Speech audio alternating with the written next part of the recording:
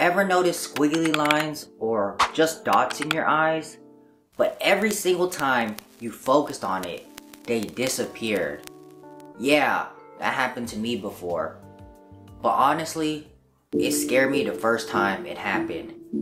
Hey everyone, today I want to talk about floaters, what they are, how they are caused, and what you can do to prevent it.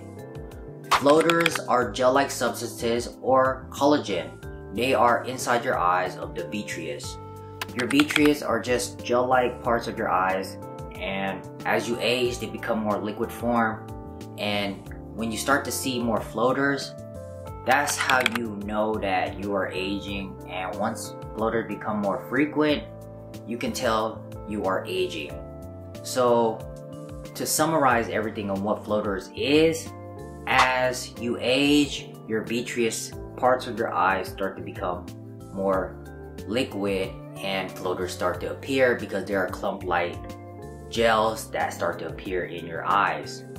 For me, my personal experience with floaters, when I started to develop cataract and glaucoma at a young age, around 12 years old with cataract, glaucoma 14 years old, I started to notice these floaters.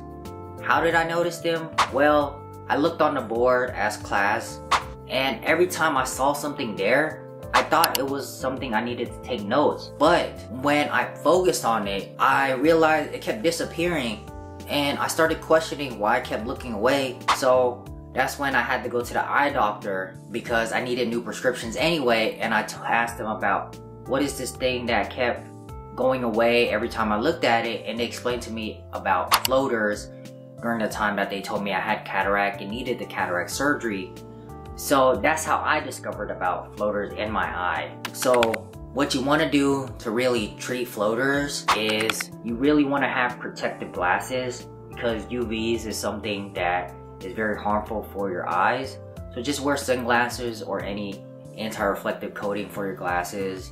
Eat a healthy diet, take your vitamins like omega-3s, eat some leafy greens. Floaters in general are not really harmful, they are harmless because when you do have floaters, they just mean you're aging and parts of your eyes, the vitreous, is just becoming less hard and it's becoming more liquidish and all the collagen clumps are building up and that's why you see all these squiggly lines and dots and you aren't able to focus on them. However, if you start to see rapid floaters appear, light sensitivity, or any just random shadows, this is when you have retinal detachment. As I repeat, retinal detachment. And this is a severe case where you need to go to the eye doctor because retinal detachment is a severe case. So please make sure if you do have retinal detachment or you seem like you have the signs of retinal detachment, please see your doctor immediately because this is not something you want to take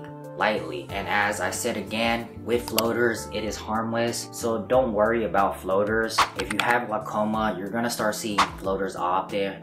And if you're in the older ages, around your 30, 40, 50s, you'll start to notice floaters starting to appear more frequently and if you already do have any eye conditions or eye issues, you'll start to see floaters as well with cataracts. You'll notice you'll start to see your lens start bogging up or floaters start to appear and you need to replace your lenses with cataract surgery. So what can you really do to prevent floaters? Well, you can't really prevent floaters. You can only just treat it with the sunglasses as I mentioned and AR reflective coating and manage your diet. Take supplements like omega-3s and take leafy greens because floaters are just a sign of that we are aging. But there are times when if you start to have retinal detachment again, that's when you need to go visit the ER or your ophthalmologist or optician.